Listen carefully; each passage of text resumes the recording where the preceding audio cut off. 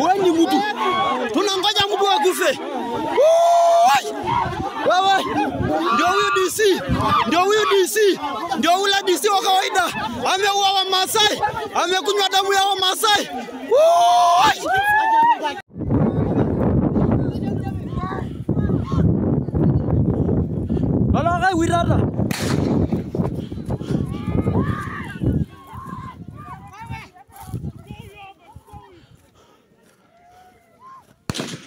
DC, DC amepiga mtu. DC amepiga mtu. DC, Jubat, Jubat.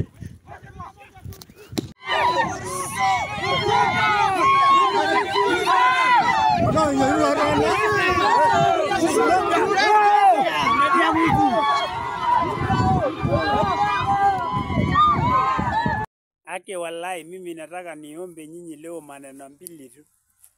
Iko watu Yesoit ameteswa, wamenyanyaswa, na najua ni ule Tunai na ule Kijabe.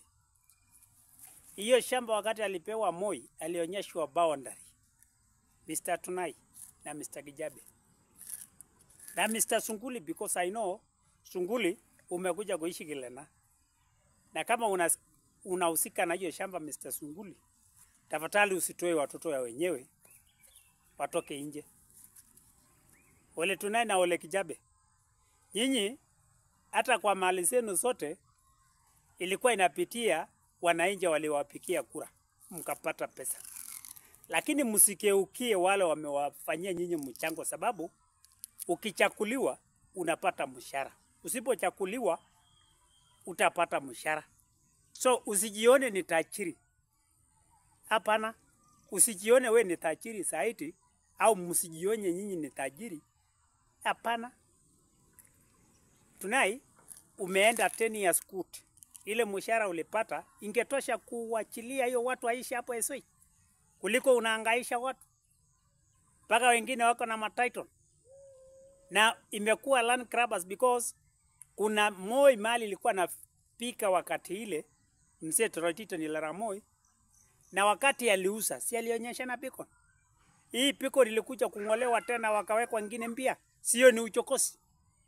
Sasa mimi nataka niombe nyinyi watu ya Esoit, jamii ya Wamasai na Wakale wale walifurukwa huko, mchibange muende kotini. Mimi niko tayari, tusaidiane na nyinyi.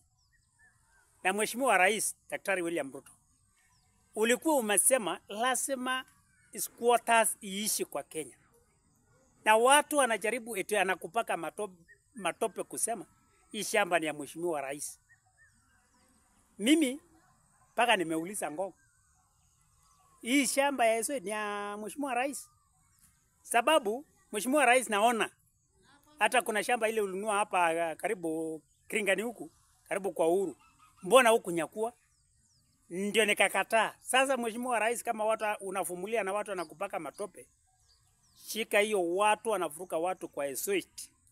Hiyo watu ni saiti mia sita na ishirini na nne na polisi GSU wasitumike, sababu hizi matiakas na mabunduki na marisasi ni revenue ya wananchi, ikiwa pamoja na hawa wa Esoit.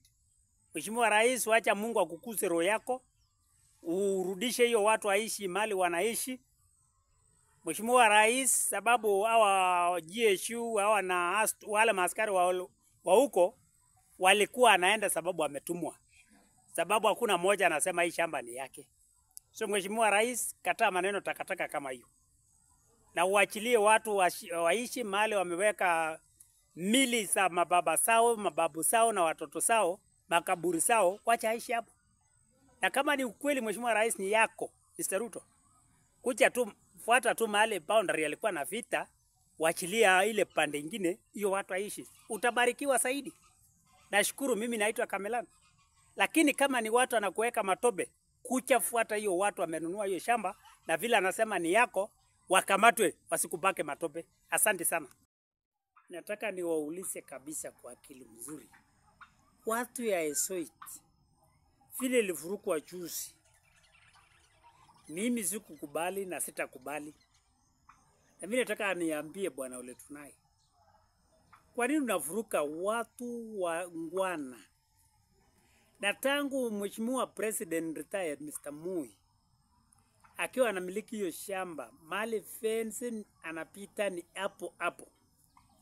Alafu namba 2 kuna watu wako na ma title deed ambaye imefahamiwa mpaka imeama, na hawa ako on the process kwenda kokotini. Unajua, hakuna haja kwa sisi tuone wengine anafaa kuishi na wengine atoshi kuishi. Lazima tuseme ukweli, na mimi nataka niambie wewe, Mheshimiwa Rais William Ruto, ingilia kati mambo ya Esoit tafadhali na kuomba. Mzee Toroitich Daniel Arap Moi alikuwa mwenye hii shamba akauzia kampuni nyingine, hiyo kampuni akauzia sasa watu wengine.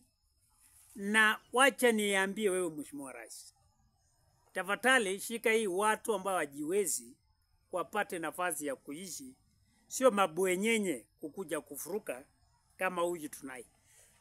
Tunai ujue ya kwamba akukuwa na wewe from 2020 to 2021 na kuendelea huko, si alikuwa kando na wewe?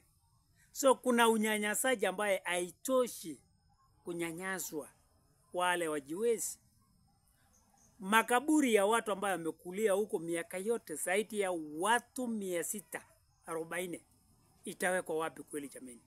So nataka ni nikuombe Mheshimiwa Rais na mtu ambaye anasimamia mambo ya mashamba, ingekuwa imefika kuangalia hiyo msoso, sababu hizi marisasi na matiagas ni hao wananchi wananunua kupitia VAT tax, na isikue pesa yao wanatumia kujikaranga.